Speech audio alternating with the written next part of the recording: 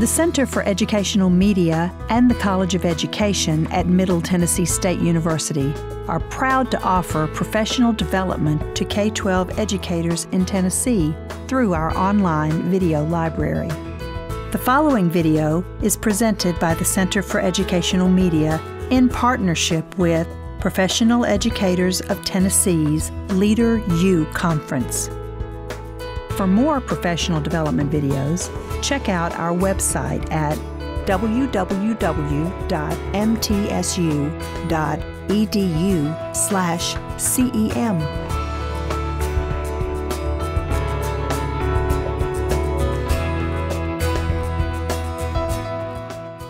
Now, what we're going to talk about today, targeting gaps in the science of reading, isn't necessarily for kids with um, special needs only, it's for everybody. But we all know where those gaps are. And a lot of that um, falls into those kids who need a little extra. Um, sometimes they need a little extra to come from the bottom up. Sometimes they need a little extra from the top to keep going. And sometimes we got those kids right in the middle who are those bubble kids that the principal keeps telling me about that we have to get three more questions right to get to the next color, right? Three more questions is all they needed to get to the next color. So all of those people need to move, need to shift. Um, okay, so we are going to talk about closing these gaps today. So first we're going to talk about what, what do we mean by gaps? Because they tell us there are gaps, but what does that mean? Um, it's different, I think, than learning loss because we've always talked about gaps. Learning loss just came since COVID, but we've always talked about gaps. We've always known that there was a difference. If you'd ever seen a class of 20 children, you know there are gaps. You don't have to be told by a researcher that kids are not in the same place. So we're going to talk about those gaps. We're going to talk about what do I mean by the science of reading. There are some companies who are trying to sell you the science of reading. They don't have anything to sell you because that's not what it is. Then we're going to talk about if you were in a classroom, where would you start? What are we going to talk about, or what do we mean by explicit and systematic instruction? And then now where do you go from here? And that's where I'm going to hand you that QR code. That's something to take home with you, okay? So let's talk about gaps. We know this. We know that if our on-level kids keep going and we modify for those kids who we think can't or won't, they're never gonna make it. They're never gonna make it. So that's where when RTI came along, they said, everybody's gotta have tier one instruction. Because if all we do is make everything modified and they never get access to the big stuff, then how are they ever gonna do the big stuff? They'll never get the big stuff if you never let them have the big stuff. So we know that they need, that all kids need access to tier one instruction. We know all kids need access to the big stuff because if not, they're never gonna make it. Now, some kids, we think they're, they're probably not gonna make it, right? But we have to give them the chance to do that. So let's look at this other piece of research here that shows us that if we just look at sixth, seventh, and eighth grade school year, right? If we don't teach all of it, or if they don't get all of it, and we know kids who aren't getting all of it, right? You all see this. I even see this in kindergarten just from who's been spoken to and who's not been spoken to. If you all teach anything beyond second or third grade, you see this. They missed sixth grade, and then they missed some seventh grade, and then they missed some eighth grade. I mean, they got some, but this is a big old fat TCAP red. This is below proficient in every way. So how do we change this? What do we, what do we, what do we know will or won't work? Let's look at it one more way. This is the scary part. We know that this has been true for 20 years. The lows have always been low, the middles have always been middle, and the highs have always been high. So we're targeting, we're targeting, we're targeting, and we're targeting.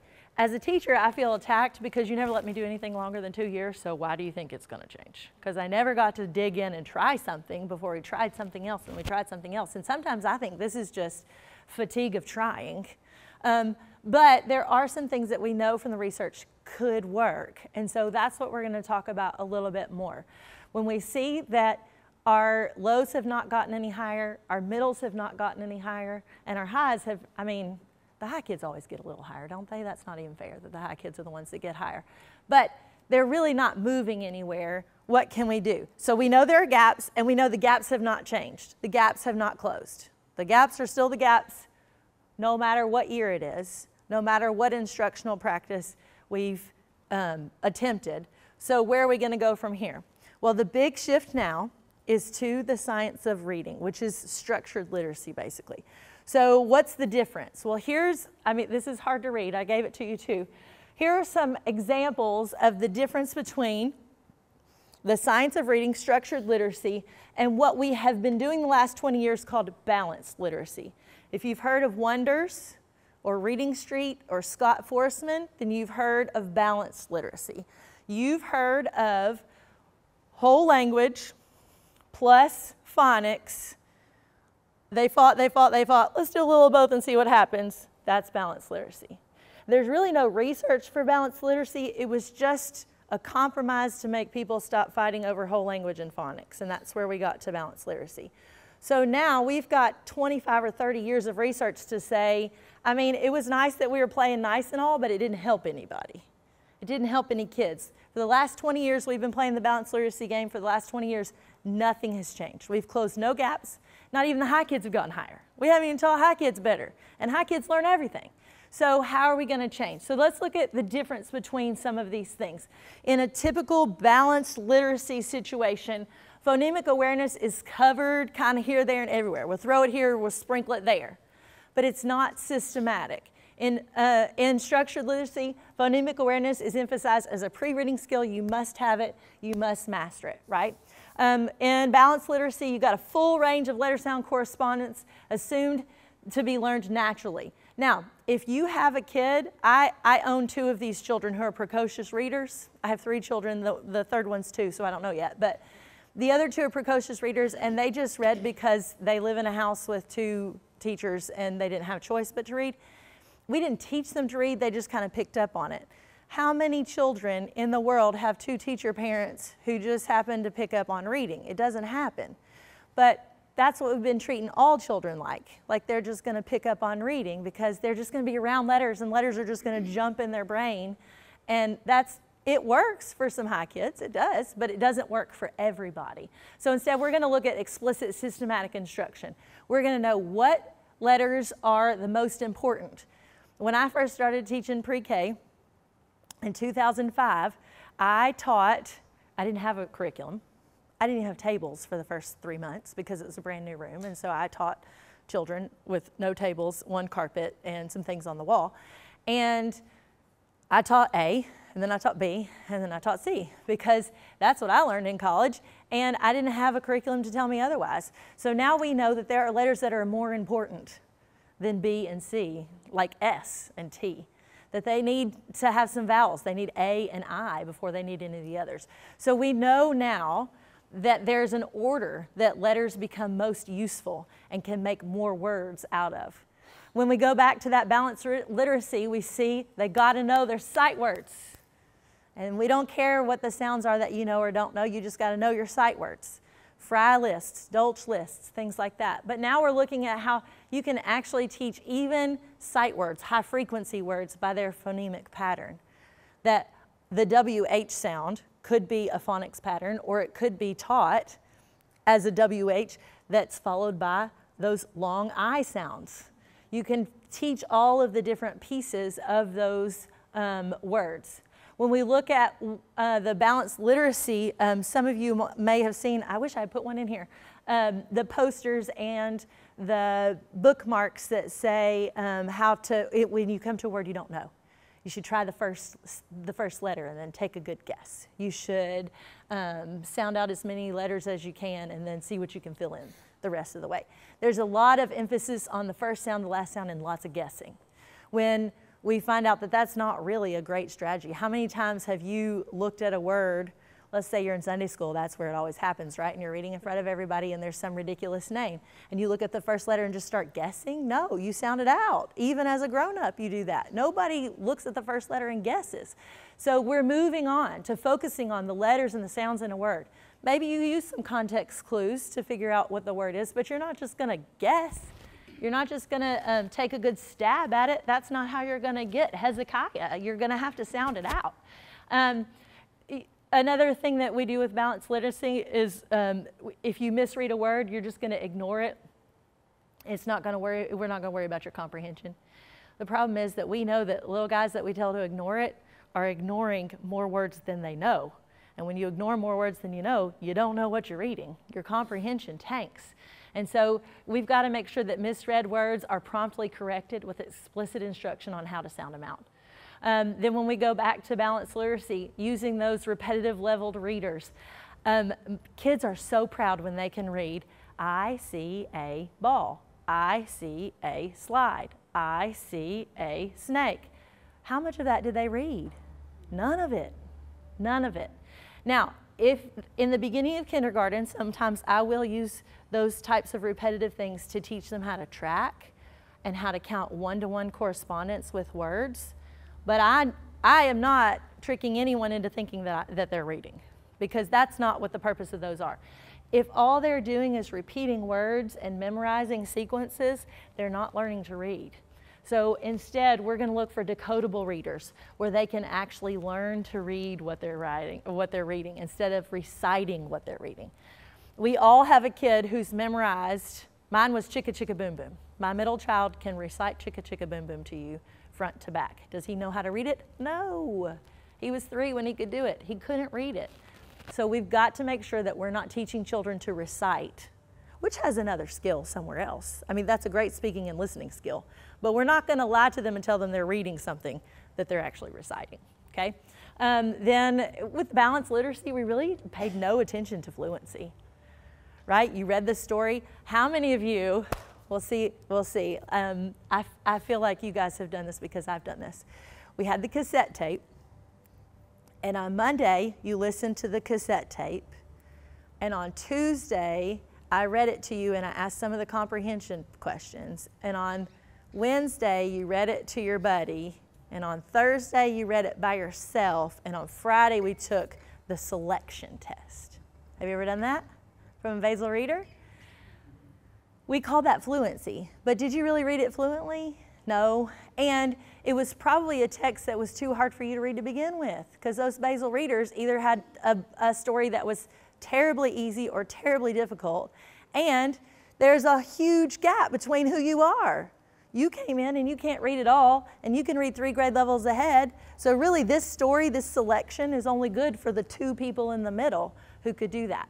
So, we've got to work on fluency and not just that selection, um, and we need to consistently address it. Last one lots of class time devoted to independent reading. One of my favorite books to read to my kindergartners out loud was um, Ramona Quimby, age eight.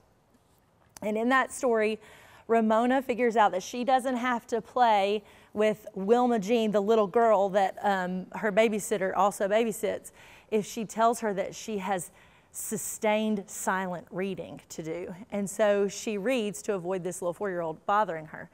And it talks a lot about sustained silent reading that Ramona does in her class. What did we call it? What was the other name for it that Ramona did? Sustained silent reading. What was the cute four letter acronym? DEAR. Drop everything and read, right? So we put a lot of emphasis on sustained silent reading. Independent reading is absolutely a good practice. It is not a good instructional practice. So everybody needs to read independently. Everybody needs to practice reading. That's, that is true, true, true. But when I have minutes with children, I need to be teaching children. Does that make sense? I have this constant guilt. It may be, I don't know, I, it didn't happen to me until later, probably in the last six or seven years. If I am in a room with children and I'm doing something um, administrative, I feel like this, I have children in front of me. I have to be teaching children. I can't be doing this administrative task because I'm losing minutes to teach the people in front of me. And so that's kind of what's happening here is you're losing instructional minutes for them to do something that they could be doing somewhere else. So we want to make sure that we're not using a lot of class time to independent reading, not because it's not important, but because it's not instructional, right? So we want to use every instructional minute that we can. We want them to have this independent reading time. They're not going to do it at home. Mine, mine do it at night when they think that they're sneaking from me when the lights after bedtime. Um, but we know a lot of our guys are not going to read at home, so when do you give them that time? That's, that's the constant question. The, the question from all of this is when, how, how much money, and who's going to buy it. And so I'm going to try to answer some of those. Um, the independent one is the independent reading thing is um, giving them uh, pockets but not 30 minutes because the teacher's tired and she needs to sit down. And that honestly, like when I was in school, that's what dear sustained silent reading was, was 30 minutes because she had something she needed to do. So that's what we're getting away from. We're getting away from this compromise for the sake of compromise, and we're getting to instructional practice that's targeted, okay? Um, so let's look at what that looks like a little closer. The science of reading, this is basically the definition of science of reading in one picture. We're looking at decoding and language comprehension, and together that makes reading comprehension. If you cannot read it, you can't comprehend it. And if you cannot comprehend it, you can't comprehend it, right? If you don't have the language skills, you won't know what you're reading. And if you don't have the reading skills, you won't know what you're reading. So this is called the simple view of reading. It's very, uh, it's simple, but it makes everything um, come together in one picture. We're going to pull that out a little bit more. If any of you all are early childhood educators and have ever been to a reading training, do not throw up on me when I show this next picture, okay? Yeah, somebody said it. It's the reading rope. Because we have been beat to death with this reading rope, okay? We've been beat to death with it. But if you're not, if you don't teach K2 and you've never seen this before, you're missing out right? Like I'm sick to death of it. But if you've never seen this before, this is a big deal because this is how a person learns to read. I think what's happened, particularly with K2, is we've been beat to death and we've not shared it with anybody else. And so you get a fourth grader who doesn't know how to read and they don't know what to do with them. I know what to do with them, but I'm not in fourth grade. So that's why we need to share this with somebody beyond the K2 world because this is how a person learns to read. We just talked about how you have to be able to recognize the words and you have to know what the words mean. This is the simple view of reading. You multiply this times this, you got reading, okay? You've got a proficient reader. If you can do that plus that or times that, you've got a proficient reader. Not plus, because if you went to all of our trainings, you would know that one plus zero is still one, but one times zero is zero, right? So it's multiplied. If you can't do one, you can't do the other. So today we're not going to be talking about the language comprehension part, okay? So we're not going to talk about vocabulary, background knowledge, language, literacy knowledge, or verbal reasoning, okay? That's for another day. They gave me an hour and a half, not four days, okay? So this part is for another day. Today we're going to just talk about learning how to read the words on the piece of paper, okay? So that's going to be the top three, decoding, phonological awareness, and sight recognition. Those are the ones that we're going to talk about to see what does that look like in real life. We've all seen this. We all have the workbook with the spirally things on it. We all have those. But what do you want me to do about it? And how can I realistically do something about it? I guess that's always been my question. I know what you want me to do about it, but when and how and who's going to pay for it? We're getting there. Okay, so we're going to look at these three pieces, and everything that we do for the rest of this afternoon is going to be labeled by one of these three pieces, okay? These three things have to go together. They're going to be labeled so that you know which one is which. So first, let's talk about decoding. None of these words are real words, okay? Somebody uh, yell out the first word. Raz, next. Filk, next. Uh-huh, keep going. Figure? Oh, amaged or amaged? I don't have a right answer. It's not a real word. I'm just asking you. amaged or amaged? Now, some of you, you think it's a schwa? Why is it a schwa? Yeah, yeah. So if there had been a consonant at the beginning of it, it would be damaged, right? So then it would be a short A. But you're saying since it's the beginning of the, it has to be a schwa. So that would be amaged. Amaged? Amaged. Because once you have that, um, the first syllable, then it changes the second syllable. Okay. Keep going. Imploved. Imploved.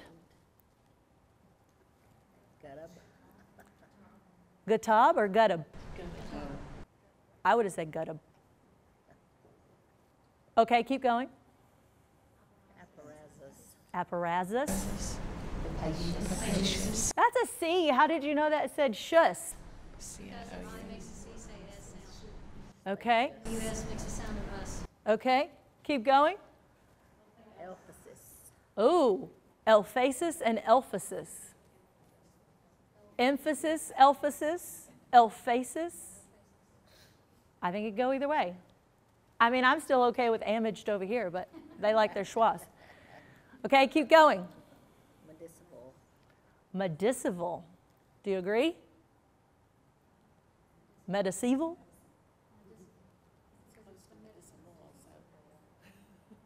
Okay. Subcinct. Somebody thinks that's a real word, but it's not. Subcinct. Succinct is a word, right, but subcinct is not, right? Sneezonic. Snizonic. See, I would not make that a long E. I would say that's snazonic. Sneezonic. Snazonic. Okay, you just read a whole page of nonsense words. These are words that we're asking third and fourth graders to read that are not real words using their phonics skills because they should know by then that CIOUS says shus, right? They should know those. You all were able to decode these with a couple of um, differences in emphasis, but not huge because you have the ability to sound out words, just like when you get to the weird Bible name, right? You all have the ability to sound out these words. Through balanced literacy, for all this time, we've been saying, well, what does it look like around it? Sound out the first word or the first sound and see how far you can get. And then they're not attacking the words, they don't know what they look like. So we've got to teach kids to decode. What you just showed is that lots of, almost all the words that we have are decodable. We teach kids sight words that they just have to be memorized that way. And sometimes they have to be memorized that way for the moment because you don't know that rule yet. But by the end, they're all going to be decodable. They're all going to be words that can be de decoded. And so we need to teach them that way so that kids don't think that there's some list of words that I just have to memorize. Because there's really not. There's some, but really, even when you get to things like through and though, there are still rules. Um, there are lots of rules to know, but there are still rules. So when we look at decoding, we're going to talk a little bit more about how to teach that and what to use to teach that. When we look at decoding, this is what we're talking about sounding words out. Okay? Then we're going to look at phonological awareness. Okay? Phonological awareness is something that also I think in the early childhood realm is pretty easy, but when we start talking to uh, middle school teachers, they're like, I have no idea what you're talking about because we take care of it. Um, I was actually in a um, setting like this during our state five day thing. How many of y'all have done the state five day thing? Okay. Um, there's a big long, there's like a 30 hour thing online, and then you have to go to 30 hours in person. Um, and we were sitting there with kindergarten, first, and second grade teachers, and we were talking about um, our curriculum says to draw the sound for something. And they mean to write the letter for the sound, but they don't want you to know that it's a letter. They want you to know it's a sound, and so they say draw the sound. And so you're going to draw the sound mm, right? They mean write an M, but what I'm saying is draw the sound mm. And we had to say, now in kindergarten that's hard because I don't want you to draw that. I want you to write it because it's a letter. And we're at the same time teaching that the author writes words and the illustrator draws pictures. So I don't want you drawing a letter. I want you writing a letter. And then the OT says that if you draw a letter, that's bad because you need to learn to write the letter to form it correctly. Because if you're drawing it, you're just copying it. But if you're writing it, you're actually forming it to make meaning. So when you say draw an mm, that like goes against everything that I've been teaching kindergartners, right? So then the second grade teacher raises her hand and said, I just have to say, I had no idea this was a thing. And they, we look at all the other second grade teachers, and all the other second grade teachers like, we didn't know this was a thing. We didn't know that there was a thing between writing and drawing. We didn't know that there was a thing between sounds and letters. They didn't know those things. And in kindergarten, we just assumed everybody knew that. So I think what's happening right now in the science of reading is they're teaching all the people who teach reading how to teach reading and no one else. And so everyone else is saying, we didn't know that was a thing. We didn't know that was a thing. This is a thing. Phonological awareness is a thing, okay? So you've got this word awareness. You've got to look at your syllables, onset rhymes, and rhymes. Onset rhyme meaning the first sound and everything that follows it. Rhyme meaning the end of the word matches, right? So it doesn't even have to be the same letters, it has to be the same sounds at the end. So that part of the phonological awareness is the part that you hear, but then we can also get to where we start to associate letters with that when we're blending phonemes and manipulating and segmenting and substituting. And this is the hierarchy of how we work with phonemes within a word. Now, when we first started doing phonological awareness, they were saying it can be done in the dark, which means you don't have to see anything because once you start seeing things, then it's not phonological awareness. What is it? Phonemic awareness, because you're looking at the phoneme, right? But what we're learning is that it's actually really good after kids can hear things for them to be able to see it with it, because then they're starting to make connections. So, second graders, even at the end of kindergarten, I'm starting to move things around with them so they can see and hear the same thing. So, phonological awareness, yes, goes in your ears, but it doesn't mean that your eyes have to be closed. It could go in your ears and you could be using your eyes as well. So we're going to look at some ways to do that. I want to try some phonological awareness out on you. Okay? This is a book by David Kilpatrick. Have you seen or heard of this book? Oh, you're going to love it. Equipped for Reading Success. This is for big kids. I'll show it to you at the end, too. Don't worry, it's on the list. Um, this is for not kindergartners um, maybe some high kindergartners, um, usually first, second, third. And here's why, okay? I'm to put you to the test. Okay, everyone, say add. add. Instead of d, say n. An. Good. Say as. as. Instead of z, say n. And. Do you see how you're having to change? Because you live in Tennessee, and so it's not an, it's an. You went from as to an. Uh, that nasal with the N and the M can do that to you. Have you ever tried to teach a kindergartner from Tennessee something that start that goes with an N or an M? Okay, um, say I'd. Change D to M. I'm. Say aid. Change D to J. Age. You can do it. You can pass the second grade.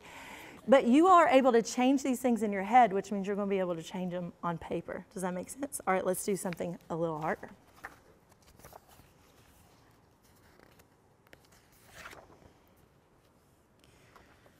Oh, this one's not that harder. That much harder. Say sand. sand. Oh, it is. Don't say mm. Sad. Sad.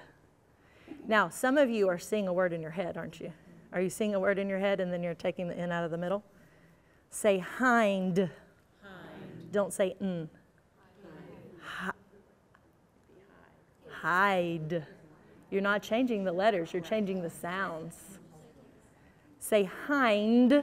Change out, take out n. So it'd be hide because it's what you're hearing, not what you see in your head. It's not, it's not what's on the paper, it's what you're hearing in your mind. So if I say hind and I take the, out the n, I have ha, h, I, d, h, I, d hide. Okay? Let's. But I'm, I'm doing what I'm hearing, not what I'm seeing. Phonological. Okay. Say mask. mask. Don't say s. Mac. Mac. That's hard. Look, you're thinking. Okay. Say boast. Don't say s. Boat. Boat. Good. Say want. Don't say mm. What? Except we say wah, wah. So you got to change that wah to what. Yes, what. Say bend. bend. Don't say mm. Bed. Bed. Okay, do you see how your brains are working? You probably were never taught phonological awareness. And so you're having to think a lot. I have, I'm good at this now because I've taught people how to do it. But if you didn't practice it all the time, it'd be really hard to do. This is for bigger kids. I would not do this with kindergartners. But this helps little guys to be able to change words in their brain so that they can change words on paper. If you have seen little kids write, which is the ultimate assessment of what they know, Um, they're just putting random letters on a piece of paper. And a lot of times it's funny to know what they hear because they're going to write what they hear and they don't hear the same word that you said, especially if they have speech. If they have speech issues, they're writing what they said, not what you said. They're writing what's coming out of their mouth. And so those speech guys need more of this than anybody to be able to be aware of sounds.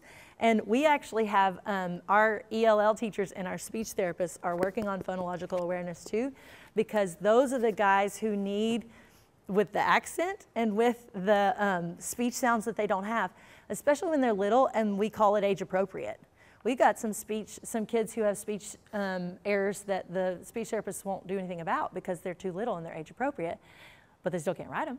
So that's where these things come in handy to be able to um, know that they can manipulate sounds. So if you do things like this, there's another one called Heggerty. Some of you use Heggerty.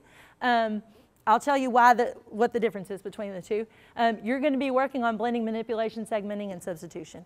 And all of those things are going to affect their ability to read and even more so how to write, how to put it back on paper. So uh, phonological awareness. When I'm talking about phonological awareness, that's what I'm talking about. Your ability to hear and change sounds in your brain, okay? It doesn't mean you don't have to see it. Let me show you this. Anybody recognize this? Anybody have CKLA? Okay, this is from CKLA. Um, this is a chaining folder. You can do these in all kinds of different ways, but this is a, a student chaining folder. And what I can do here is I can make a word, b, e, d. And I can do the same thing that I just did with you. All right, everybody say the word bed. bed. Now I want you to change the e to i. What word do I have? Bid. So now I'm going to show kids how to do it in real life. Now, some of those examples we had, you could do that because hind, take the n, would be hid, right? Because you'd have to have a sneaky e at the end and that would be tricky. So I wouldn't do that one with them, obviously. I would find something that I could do. But we want to start moving what they hear then to what they see. So there are all kinds of chaining opportunities for them to do this where they can start to see what they're hearing and then start to make those connections that way too, okay? So how is this different than, I'm just gonna have to call it this, than the wonders years, than the basal reader years? How is what we've done so far different than the basal reader years? What did we do? It's explicit. What do we do in the basal reader years? None of this. We didn't do uh, the most phonological awareness we did in the Wonders years is rhyming words. And we see that rhyming words is one eighth of this, and honestly, it's the least important of any of these skills. A kid's ability to rhyme doesn't always correspond with their ability to read, but some of these others do. So when we look at the basal years, we were skipping one of the most foundational skills to get to reading. And sometimes we still have teachers who do that. I'll tell you why, because we're in a hurry. Because we're doing a Tennessee portfolio and they have to write five sentences and they have to demonstrate three different types of sounds and they have to have time order words and they have to have all these things. And so when we're in a hurry to get there and we're skipping, and what happens is our second grade teachers come back and like, these are the most terrible spellers we've ever seen in our whole lives. And it's because we hurried up to smash it in them because we're missing the first step. So this is the first step that we're cramming down, or that we're forgetting, and we're cramming down decoding into our kids, and they're missing this, and so later we're building gaps in. We're seeing that. So what's one way we can close the gap? We can start by giving everybody the bottom.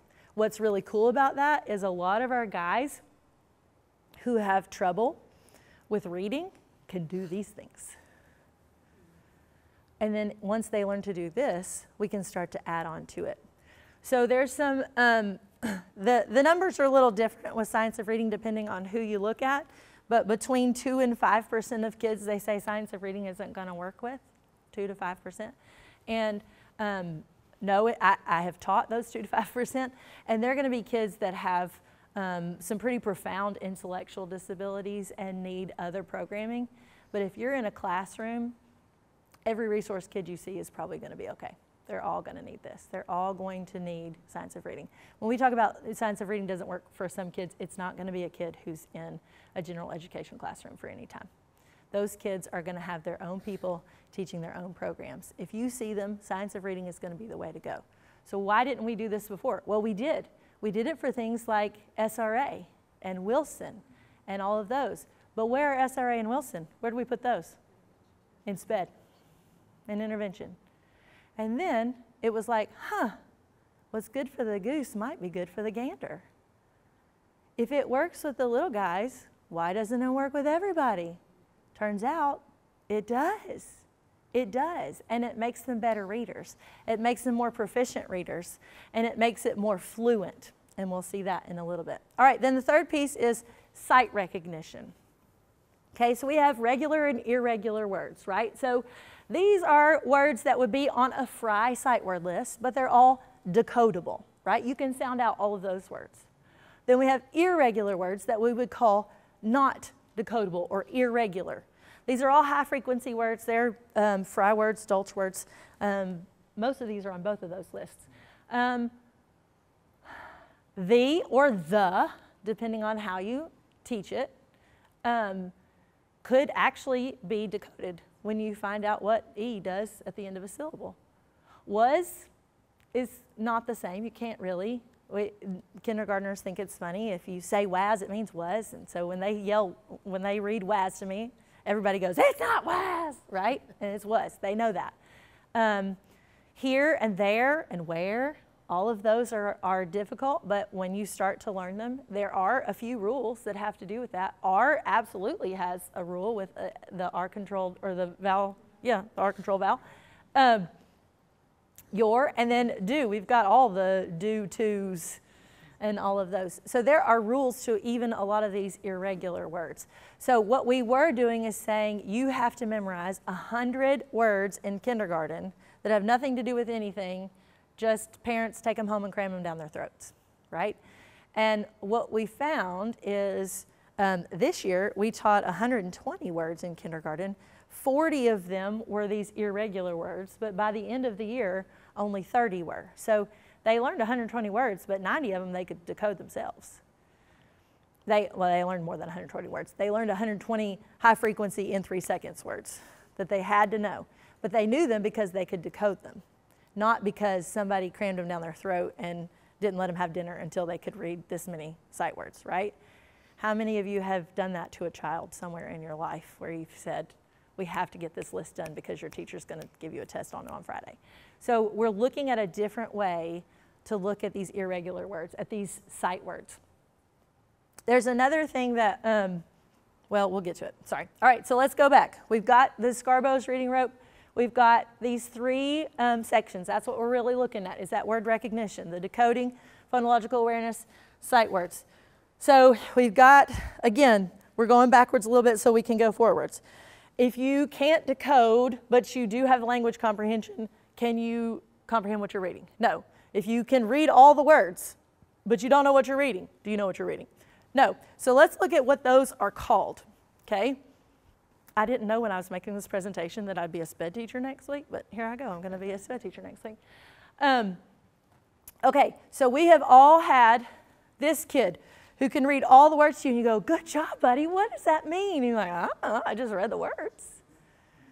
A lot of these kids are ADHD or on the autism spectrum, but sometimes they're not. Sometimes they're just hyperlexic and they can just read everything. But they don't, they have poor language, right? They can read all the words, no language. Okay? Then on the opposite side, you got kids who know all the language. They can talk to you, they know every vocabulary word. They just can't read the words on the paper. And that would be a kid that we would say was with dyslexia or a specific learning disability. Here's where the general learning disability comes in. They both can't decode it and they don't know what it says. Okay? So that might be different, but it, it's going to look like the same disability category. They're both going to receive reading services, right? And then at the top, you can read the words and you know what it says. That's just a general reading ability. Now, what um, Amory was saying this morning, and what we know about our TCAP scores is that 40% of kids are there right now, right? 40% of kids are there, and 60 are somewhere over here. But are they really, or did we just not push them over there yet? Because if you think about the kids in your class, are only 40% of them really there? Or, like, would you call 60% of your kids dyslexic or reading disabled or hyperlexic? Probably not. So we just haven't pushed them into that square yet. That's what we need to do is push them into that square. We're not really close. It's hard for me because I feel like sometimes when we say we're closing gaps, in order to close gaps, we're like bringing the little guys up and we're holding the big guys down. I know that because, like I said, I have two precocious readers, and I feel like my two precocious readers have sat through kindergarten twiddling their thumbs. Because we got to hold you down so we can let them catch up. But really, what we want to do is let you keep going. Like, go on, way out that corner over there, and let's just get everybody else up in that square with you. Does that make sense? So that's the goal. We're not really trying to close the gap this way, we're trying to close the gap that way. Otherwise, you're going to hold my sweet middle baby down, and he doesn't need to be held down. He needs to be 99th percentile with his sister. So that's the goal when we're talking about closing gaps. We're not closing gaps between kids, we're closing gaps between all of these areas of poor work to good work. Got it? Okay. So let's look at what that looks like. Alex Quigley has um, a, a, lot of good stuff about closing the reading gap in his book called The Reading Gap. Um, but here are some things that he says about closing the reading gap. We got to train teachers to be experts in how um, kids learn to read and go on to read to learn. I think the state has done an excellent job of that with K2. But once you're past second grade, people don't know. And so that's why, that's why we're here. I want to tell you a little bit more about that. Then we've got to develop and teach a coherent and cumulative reading rich curriculum. I have never met a curriculum that I would consider to be coherent and cumulative. I mean, I've, I've seen some decent ones. I mean, I teach a decent one, um, but it's not cumulative and it's not, there are still things that we all sit down. We've even sat with the publisher and said, why? And they're like, we don't know. We'll have to go. We'll go back and check on that. I haven't seen them again. Um, so all, all the curricula that I have seen still need help, still need more. Um, then the next piece that we need to look at is teaching with a focus on reading access practice and enhancing that reading ability. They got to be able to do it and more often. Um, the question there is always time. And especially the guys who need the most help with it are the ones who have the least amount of time. They're the ones who run out of, literally run out of minutes in a day. Um, and we don't have anywhere else to, to cram in a little bit more access or practice. And then we got to teach, model, and scaffold their reading so they become strategic and knowledgeable readers. We can't just leave them at being able to word call. But now we've got to, again, go back up to that, go on to read to learn. A lot of times, particularly when we look at IEP goals, once you, once you get good enough at word calling, we're like, you're out. But there's a whole lot more to reading than word calling. Just because word calling is the only part we're talking about today doesn't mean that there's not five more strands of that rope down there. Then we've got to nurture their motivation to read with purpose and for pleasure. This is where science of reading gurus are killing everything in a bad way because we're making everything so strategic and systematic, and um, it's really hard to get kids to just read because they want to. It's really hard to find them something that they want to read um, it, because we're not talking as much about on their level and things like that, which is good, except what are they going to read and how are they going to read it? So that's something that we still have uh, further to go on, um, especially if you go um, gung ho with science of reading, which I would caveat not to go gung ho on anything, right? We know that the pendulum is going to swing, and we know that if you go too much of anything is a bad thing. So you've got to make sure that you understand the science of reading and teaching kids how to read. And you've got to know the research, but you also have to know the people in front of you. And so knowing the research plus the people in front of you, I think um, makes a, a good equation. Okay, and then you've got to foster that reading culture within and beyond the school gates. And sometimes we have control of that and sometimes we don't. I feel like the smaller the kids are, the better influence we have on their families, but the bigger they get, the more the families are separated and we don't have that that influence anymore. I also feel like the older I get, I'm, uh, as a kindergarten teacher, I'm now older than all of their parents, and so I have a little bit more know, clout with the parents than I did when I was 21, and they were like, "Who are you and why are you here?" And so I think it depends too on who you are, how long you've been there, whose mama says that you're a good teacher or not a good teacher, and all of those things too, um, to have those relationships. But you got to be able to build that throughout time. So these are some things that he's looking at for closing the reading gap. And something else that I want to say, again, I didn't know that I was going to be teaching college when I put this in here. You all know this, but sometimes teachers forget that there's this formative assessment cycle because we are so, we got to get the test done. We got to get the benchmark done. We got to get done with this unit. And I'll tell you, a conversation that we had multiple times on my team this year is, okay, so I'm going to give this test at the end of the unit, and then they're all going to fail it. And what are we going to do? We're going to move on because there's a basic guide. So what are we going to do with that? And if I come in, if you come in and you observe me, and I'm three weeks behind the scope and sequence because my people didn't get that, then I'm in trouble. But if they didn't get it, then I'm in trouble. But like, what do you want me to do? So uh, sometimes teachers get caught in making people happy on the outside and they forget that they've got to serve these small people in front of them. And so I want to remind you, I know you know this, you went to college just like I did, that we've got to make sure that we are assessing our little guys, that we know what they can and can't do, that we're teaching them based off of what they can and can't do, and that we're eh, continuing to target and assess, target and assess. And sometimes this can be something so small um, and sometimes it is a big, huge map, aimsweb, to do. It just depends on uh, what you're looking at. You got to use all the data that you have. So today I'm going to give you some assessments and um, some different pieces of data that you can use to target that instruction. Most of them are geared for kindergarten to third grade, but you all have met sixth graders who read like kindergarten to third graders. So it doesn't really matter what grade they're in, it matters more what grade they're reading at. And that's where we're going to meet them, right? So we've got these times that we're going to do that. So let's talk about when you're going to do that. So first you've got your whole group instruction, right?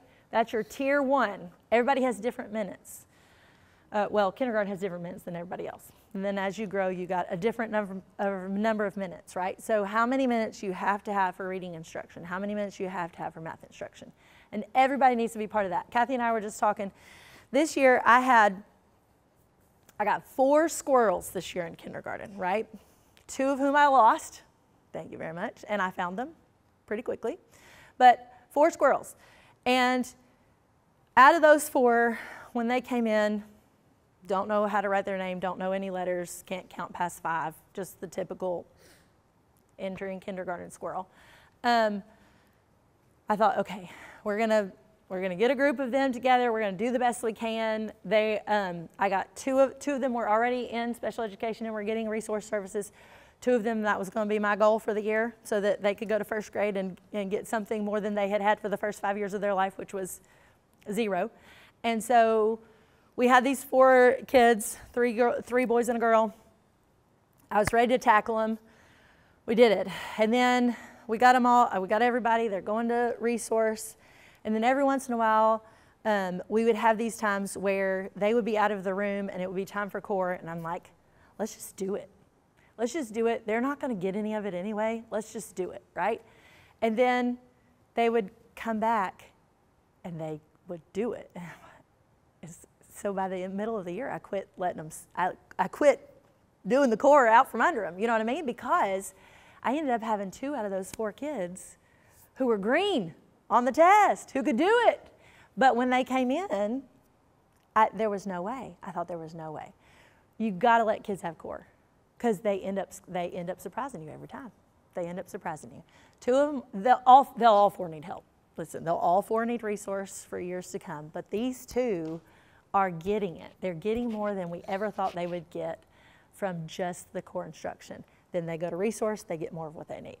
Core instruction, whole group. Then you've got small group instruction. So this would not be part of tiered. This would be part of the teacher, the gen ed teacher's responsibility to pull small groups. The smaller they are, the harder it is to do that because small people can't do anything by themselves for longer than three minutes, right? And then they, by first grade, they can do like six whole minutes by themselves, right? Without somebody coming to tell you somebody looked at them. So then the longer you go, the bigger you go, the more you can do. I was just in, in the last um, session, she teaches AP.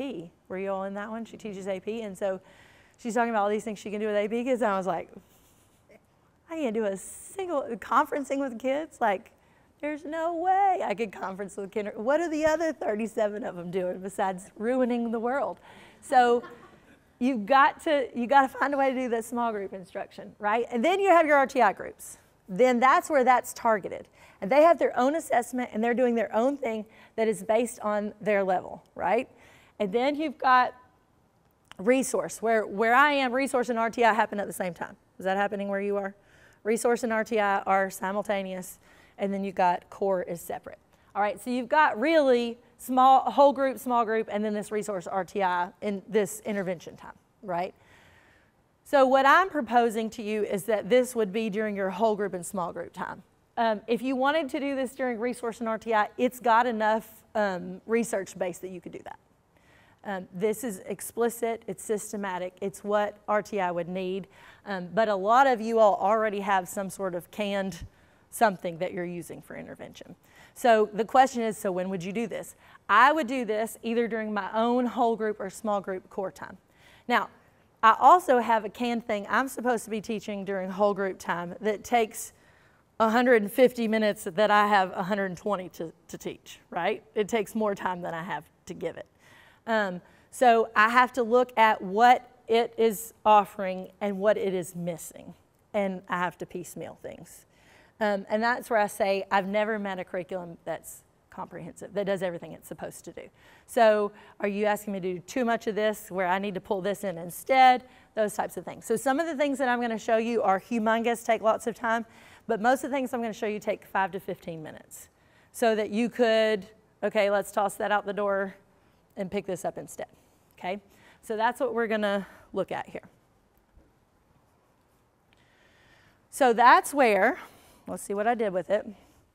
I'm going to give you, you can either scan that or I'm going to give you this um, to go to this document. And this is the part that you really want. We're going to switch to a different document. This is um, a hyperdoc. It's a document of links, okay? And this document of links is going to give you lots of different things that you can be um, looking at, working on, um, all the lists that I keep saying. I promise, I'll show you. This is it. This is the list of lists so that you can go and digest this some other time because this is going to be a lot to digest. I'll give you about two of those. And then I'll give you both those. I'll put the rest up here by Miss Kathy because I don't need them. So if you want to steal more later, steal them from Kathy. She'll guard them. Okay?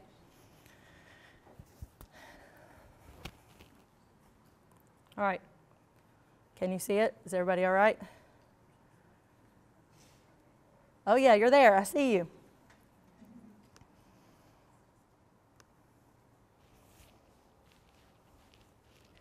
Okay, just as a technology note, if you did not know this already, um, Google Docs allows you to have something called a pageless document. And that's what this is. So it's kind of like a web page, but it's not. It's a Google Doc.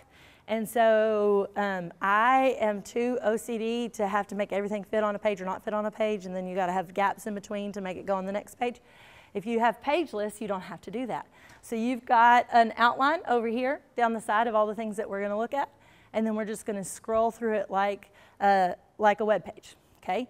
And this is something that I would give to uh, my colleagues and say, here's where we are. Here's what I'm looking at. Here's why I chose what I chose. Uh, at the top is a video about um, science of reading. Everything that we just did for the last hour in four minutes. It's not really everything we did in the last hour, but it's four minutes of a, of a snapshot, okay? Is everybody good with this so far? Okay. I'm looking at some faces. I just want to make sure that I don't need to wait. Okay. Then there's the early childhood educator's favorite picture, along with a simple view of reading and this graphic that we went through together. Okay. Then we get to the assessment piece. Okay. These are all assessments that are free or you have access to in other ways. Okay. Um, did, who use who said they use Heggerty? Just the program. Okay. Did you know Heggerty also has assessments? Heggerty has benchmarking assessments. Okay. Pre-K, kindergarten first, and then second and beyond. Okay. So Heggerty has a beginning, middle, and end of year assessment for pre-K, kindergarten first, and then second and beyond. So we're going to click on them here in just a second. So when I'm looking at phonological awareness, my ability to sound things out in my brain, um, we're looking at Heggerty. DIBELS, easy CBM. I know it's old, but man, it works. Um, and then we have something called a spelling inventory that I want to show you. So I'm going to walk you through these, okay? And the first one, like I said, was Heggerty. This is going to take you to a folder of these, um, but you can also search through Heggerty. Um, if you go through the Heggerty website, they're free. Everything that's on this Google Drive that I'm sharing with you is free. Um, but like if you were to go to Heggerty to do it, you have to sell them your, your um, email address 47 times, and so I just saved you selling you your email address, okay? Um, so you have a first grade beginning of the year, you have a middle of the year and an end of the year so that you can have the same skills with different um, words. Um, they have the same thing for kindergarten and pre-K, and then they have a screener for big kids, okay? So let's say that I have a fifth grader who comes in. Well, let, no, I'll give you a story that really did happen. Um, last, two years ago, two years ago, um, we had just come back from COVID, DCS had found a little girl who was third grade age who had never been to school. So she came to me for reading in kindergarten um, because she didn't know a single letter, couldn't write her name, couldn't do anything. She was nine. So I give her that. I know she can't do this, but I'm giving this to her because this is her grade level, right? And then I drop her back, and then I drop her back, and I get to her instructional level. And she was with us. So um, she is now in the sixth, fifth grade. She's going into sixth grade. Um, and she can read functionally. I mean, she's doing better than you would expect a person to do. Um, she did not qualify for special education because she didn't, her IQ was actually normal. She just never was taught. She was just held in a house for nine years of her life. Okay, so you get a kid who's older than second grade who can't read. Where do you start? This is where you start, right? And then if this is all zeros, then you back up. Um, if it's not, then this will give you a place to start, second grade and above, all right? And this is much like the RTI model in that you're gonna have an instructional level and a grade level, right? So if you want to teach them, then you're looking at their instructional level. So Heggerty has all of these for you. Now, we'll get to the assessment in a second, or the instruction in a second, but let me go back to show you there's a little arrow here because um, that will tell you exactly what to do in the Heggerty curriculum, okay? So the arrow is saying use this assessment and then use this instruction. I just made a couple, I didn't make the whole book, but I made a couple of copies of Heggerty because I had to leave it when I left my 17 years of life behind. So um, you could use Heggerty. Now, we'll get to um, exactly the difference between Heggerty and Kilpatrick in a second, but then you can um, also use DIBELS. How many of you are familiar with DIBELS? DIBELS is from the University of Oregon, uh, and so is Easy CBM, and they're very similar. So um, if you did not do DIBELS, you could do Easy CBM. Again, both very similar. Um, but you may not have seen the spelling inventory. Has anybody seen the spelling inventory? Okay, it's from Words Their Way. I use it for my uh, junior high RTI actually to uh, find the gap. Junior high RTI. Okay, so I would, this spelling inventory, I would either use with junior high RTI, that's perfect, or I had a precocious reader come in in first grade His mother was a literacy professor at Tennessee Tech, and she was looking at me. He was her oldest, her first, and she had volunteered to do an enrichment group once a week in my room. She turned out to be my best friend later. She's my best friend now, but she wasn't eight years ago when she brought me this child. So I, I mean, not that I wouldn't try for everybody, but I had to try. I had to really, I had to get somewhere with this guy. So I ended up giving him this because he could read anything you handed him. But did that mean that he could do anything else with what he knew? No, because he memorized all those words. He didn't sound them out. So he had no spelling knowledge. He had nothing. So what did I do? I gave him this. So this is the primary um, spelling inventory. There's actually three levels of it. Um, and there's a way to mark it here so that you can see exactly what sounds they do or don't have and what instruction to target. Does that make sense? And then um, you've got an elementary one. It, they all start with pretty easy CVC words and go harder. And then you've got the upper level, which does not start with easy CVC words, okay? So what I did was I gave this five-year-old this test. He could spell the first couple CVC words, and after that he couldn't. And so we started with our controlled vowels, and we and we did um, a couple of vowel combinations and some blends and digraphs that he didn't know. He knew most of the digraphs. He was missing a couple. So by the end of the year, I gave him that assessment again. I did a pre-post test with him, and I could say, "See, I did teach him something," because everybody else learned 26 letters, and he learned a lot more than that, right? So. Um, this would be good for either your high little guys or your low big guys or anything in the middle, okay? And then this you would use, you could use it um, with some decoding pieces. I don't know what, do you use it for decoding or, okay? Um, or you could use it with that phonological awareness. What they hear, what they write, back to what they hear. So let's work on what, what you can hear. And that's where I would use Kilpatrick for that, okay? I'll show you the difference between those when we get back there. All right.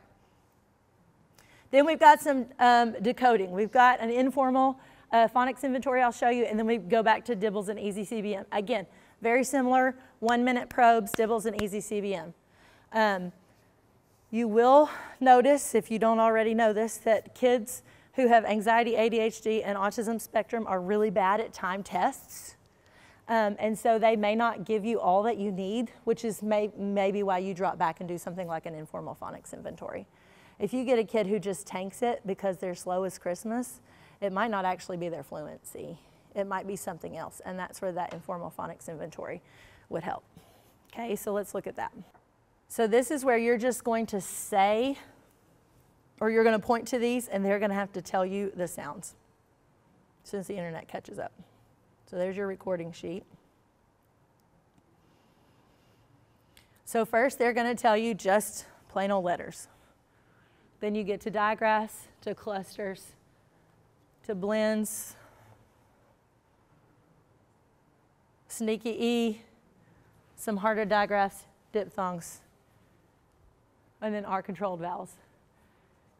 So once you get through all of that, you'll know what they can and cannot read and what you can and cannot teach them. Does that make sense? So again, by the time they finish this, Okay, I know how old I think they should be by the time they can read all these words. How old do you think you should be by the time you can read all these words? What grade have you finished if you can read all these words? Second. I would say by the end of second, early third. But I have a, I have a child who just finished second, and I don't know if I have a realistic view of what second grade is based on her. Um, I think by the end of second grade, you should be able to read all those words, right? Um, but the, and the OU, OW, the OI, all, of, all those diphthongs should be second grade. So this is something that, okay, so a high kindergarten or first grader could do this so you can figure out what they need to work on. Or you get a fourth grader in who's not doing what, what they need to do. This is what you give them. And then you know exactly what to teach them. What makes this different than anything we've ever done? Because it's systematic. It's explicit. I give it to you. I found out exactly what you don't know. I teach you exactly what you don't know okay? That's the difference between what we've been doing before. It looks a lot like RTI model, doesn't it? But what we've been doing is letting those RTI people do it over there. And what we're learning is that we got to give it to them here too. Okay? You could give to them an RTI. This could be an RTI thing, um, but we've got to be able to wrap our heads around it. Where I am now, RTI is kind of a thing that those people do, and then we keep our people in our classroom and do, I mean, we switch, but all the kids who get intervention are over there, and we need to make sure that it's not like a your people versus my people thing. So um, this is another way that you can do that, okay? So then we get sight recognition. There are lots of ways that you can um, evaluate sight words. Fry has a thousand words. Dolch only has 220. I've never taught Dolch, so I didn't know that. Is that true? Dolch only has 220 words? Um,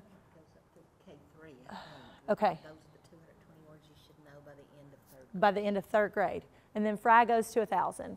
And then DIBELS and Easy CBM have those high frequency words that you can do the one minute probes for. So you can um, assess sight recognition in all of those ways. Um, so once you do that, what do you do with it? So that's kind of where this arrow is. That's why you have access to all of this. So what am I going to do with that? Well, let's look at some instructional programs that are going to do something about it, okay? The first one uh, for phonological awareness is called Heggerty. It's about $90 a book now. It used to be 70. It's going up and it's going up again. Um, they now have online subscriptions where you have videos and all kinds of things. There are videos online that are examples. Um, but this is a whole group thing for pre-K through first grade. You could do it with second graders too. Um, there are three different books. So there's a um, pre-K book, there's a kindergarten book, and then there's one called primary that could be first or second grade. And it's very similar to the uh, activities that I was um, doing before with you. Let's do this one. Give me thumbs up, thumbs down. Does this rhyme? Wish, dish. Wish, dish. Yes. Thumbs up, thumbs down. Does this rhyme? Teeth, leaf. Teeth, leaf. No, it doesn't. That's really hard. Uh, does this rhyme? Much, such much such. Yes, it does. Okay, then I move on and I say, uh, tell me the beginning digraph. Chip, ch, sheep, white. And some of you would have to, it's, it's unvoiced. Uh, show, think. And is that voiced or unvoiced? And think. It is unvoiced. Think. This is voiced. Think is unvoiced. Okay, so you're having all those conversations. It's explicit, it's systematic. Every page has a purpose. That's where we're going with this. So Heggerty is one of those things you would do whole group, 12 minutes a day, everybody would get it. Even the little squirrels you think aren't going to get it, they get it. They get it. And it is amazing when they do. Heggerty is something that our ELL and our RTI people are doing with everyone. ELL and RTI. Um, are, uh, they're both doing pre-K with kindergartners and kindergarten with first graders. Um, so they're getting a double dose, but they're getting different content. So they're getting grade level content from me. They're getting level content from ELL and RTI. Okay. Um, the difference with between Heggerty and Kilpatrick, which is what I tortured you with last time, is that these are harder skills, so it's for bigger kids and they're one minute drills. So Heggerty is a three page every day. We do 12 activities every day, no matter what. 12 activities, 12 activities, 12 activities, 12 minutes, doesn't take long at all. Heggerty is targeted, so it would be a small group, and I would just do a one minute drill. Say it, say it, say it, say it, say it. So this would be either small group or individual. This would not be a whole group activity, okay? So this book is actually him explaining all of the research and everything that he's done, and in the back of it is the activities. So this is a really cool book to learn from and um, to get the activities from. It's a $50 book. It's actually cheaper if you go to his website and buy it than if you get it from Amazon. And I'm sure he would appreciate that too. The um, one thing about this is, as with anything, so Heggerty, you just turn the page and read it. With Kilpatrick, you've got to do some work. And so it takes some teacher know-how to figure out what you're going to teach and how you're going to teach it. So it might not be something that you could as easily just hand to a teacher and say, best of luck, go at it, uh, like you could Heggerty. Heggerty is just a plug and play, just do it. This is not quite that way. You'd have to do a little bit of research, you'd have to read a little bit and figure out what you need to do. But these drills are going to be great for big kids. Then we move to decoding. Um, who has seen or used words their way? Okay, now Words Their Way as an instructional program isn't that great? But um, as independent practice is fantastic. As independent practice, there are lots of different sorts that you can explicitly teach a rule or a sound, and they can sort words by those things. So there are lots of different books that you can get. I actually, well, it took you to this. Uh, in the folder, I'll have to go back and find it. Um, I have examples of each of the word sorts that you can do. Um, there are several different levels, the emergent spellers, um, the derivational relations, um, and then the letter and picture sorts are the ones that we start with in kindergarten. And so you can sort them. The hardest thing about Words Their Way is that the um, pictures are sometimes things that they don't know anymore. Um, the phone doesn't look like a phone. The TV doesn't look like a TV. The TV is like a huge sit on the ground tube TV. I'm trying to think of something else that there's a picture that they always ask me about, and now I can't tell you what it is. So there are some things that um, they don't know. I just um, saw someone asked why the save on icon was a, um, a vending machine with a soda in the bottom of it. Now, can you see the disc as a vending machine with the soda in the bottom of it? Because it's a floppy disk. They didn't even have to lock their floppy disks in. I, I put the big old five inch floppy disk in and locked it. Uh, we used to have a um, camcorder that like didn't take tapes anymore. You could use the, the four inch floppy, but then you had to change the four inch floppy like every 10 minutes to put more in.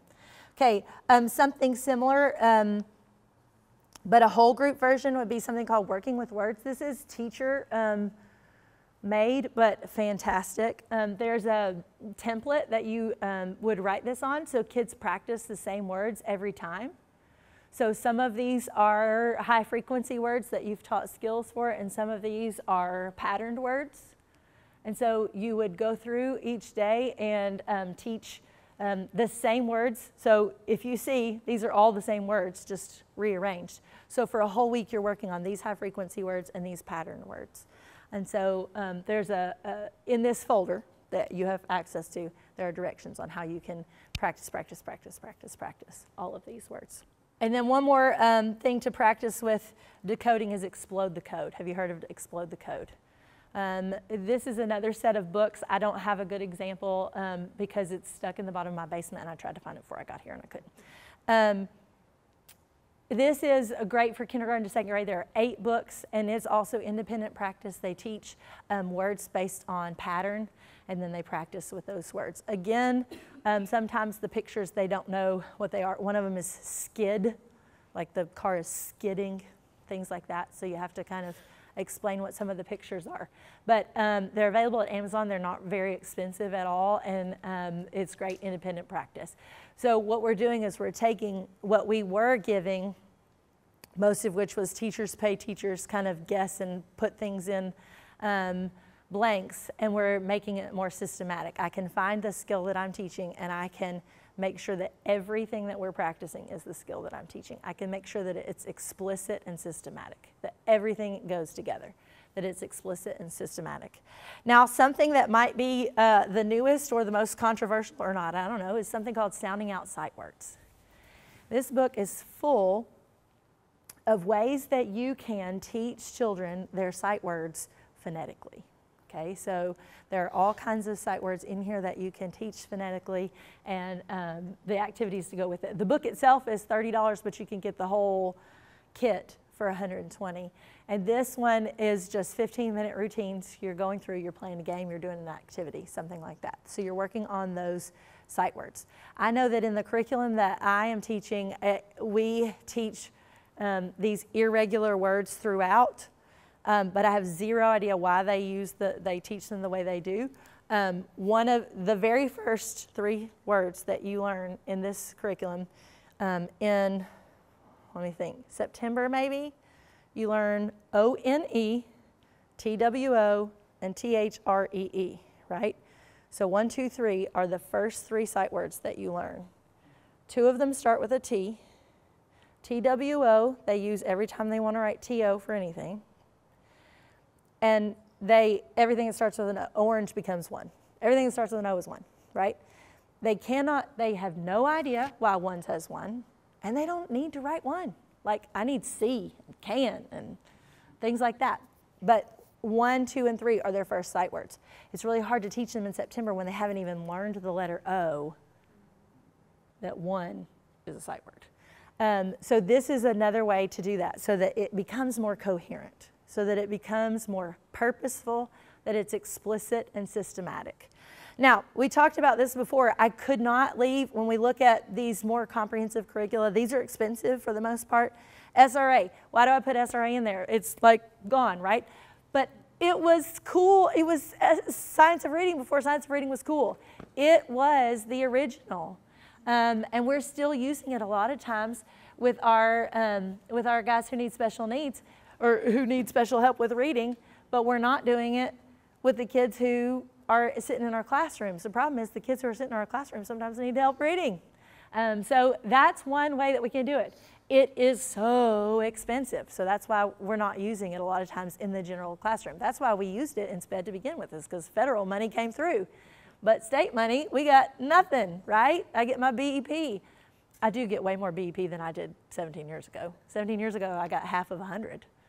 We're getting better than that, right?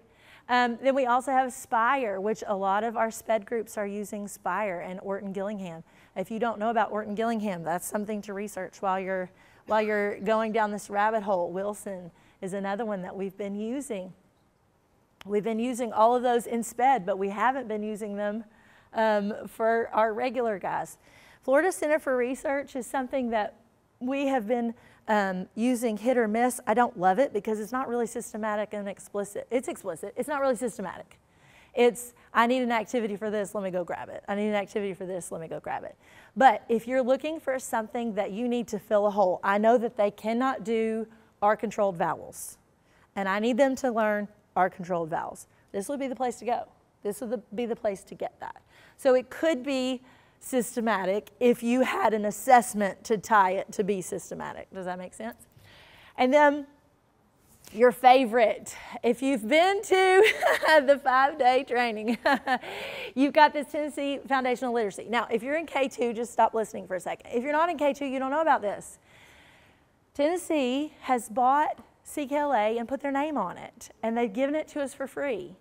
And as much as I think that CKLA is incomplete, because it is, because there's nothing that's not incomplete. Listen, there's nothing out there that is not incomplete. As much as I think CKLA is incomplete, if you don't have a good curriculum, this is better than bad, okay? Um, it does do its job in a lot of ways. It needs supplementation. It needs supplementation. I got it. It needs supplementation. But if you have a kid who comes in in the sixth grade and can't read, here is your SRA that you didn't have to pay $8,000 for, okay? This is um, broken down. Um, we are teaching this whole group, but you could do it small group if you have a little guy who, who needs it, okay? So this is broken down into pre-K kindergarten, first and second, by unit, so you can go through, get the teacher guide, get the student workbook, get everything that you need. If you uh, were listening to all of those crazy things that we were saying, say the word, change it, say the word, change it, and you don't have the money, the $90 for this or the $50 for this. This sounds first right here is, is a free close second. Okay? It's free. It's, it's not the same, but it's not bad. It gives you all the same activities that you would do. It tells you what you could do. So, uh, do I love my Heggerty better? Absolutely. But would this work in a pinch if you had nothing? Yeah. And it does everything that you need it to. Look, it's the same thing. When it rains, I get all wet. When it rains, I get all wet. Get wet, get wet. Look, they rhyme. So this is the same thing as the pre-K Heggerty, or close to it. Um, so I'm trying to bring you things that aren't going to cost you everything you have because you don't have it. Um, and this is an option. All right, so when we get back to it, we've got all of these pieces. We've got assessments. You have access to all this now. You have access to assessments. What do they lead? What, to what instruction do they lead? Okay? And then how does that become systematic and um, explicit? It's how you do it. So I can give you all of this. I can hand you all the things in the world. I mean, that's true of anything. Any curriculum supervisor could hand you a box of things. It's really not about the box of things, it's about you. it's about what you do with it. So now, what do you do with it? You take what you have, you take the people in front of you, you take the skills that they do or don't have, you find out what they are, and you plug in those holes. Our goal is that we don't, what we have been doing, is we don't just read out of a basal reader, give the selection test, oh, you got a 40, let's move on. Okay? That this is the goal is that this would replace that. That this would become, we're going to teach you how to read even if we have to drop back. But I don't know where to drop back to. That's why I have this. Okay? This is designed so that if you don't know how to move somebody forward or move somebody back, you have a framework to start with, some assessments and some instruction to go with it. Okay? Now, if all of this was like so overwhelming, I don't even want to hear about it again, great, that's fine, doesn't hurt my feelings a bit. But if you do want some more summer reading, here's your top six. Okay? Uh, shifting the balance will be your top one. If you need something to look at, if you need something to read while you're on the beach and you just feel like working, I don't know who feels like working, but if you just feel like working, here's your top six. These are the ones who, uh, that will get you in the brain space to see that our little guys, we're not trying to catch the bottom up to the top. We're trying to catch the bottom up to grade level, right? I don't want to hold these guys down in order to get these guys up. I just want these guys up. So let's close the gap out of those reading disabilities that aren't reading disabilities, they're lack of instruction. And it's not our fault that it's been lack of instruction. They've been giving us junk, right? So where can we find the stuff that's not junk? Where can we find the stuff that we can target holes, that we can get kids moving? That's it. If you have, um, if you need more of those, I've put them over here next to Miss Kathy. Um, if you have questions, you're welcome to come on up. We did it. Thanks for being here. And I can still talk.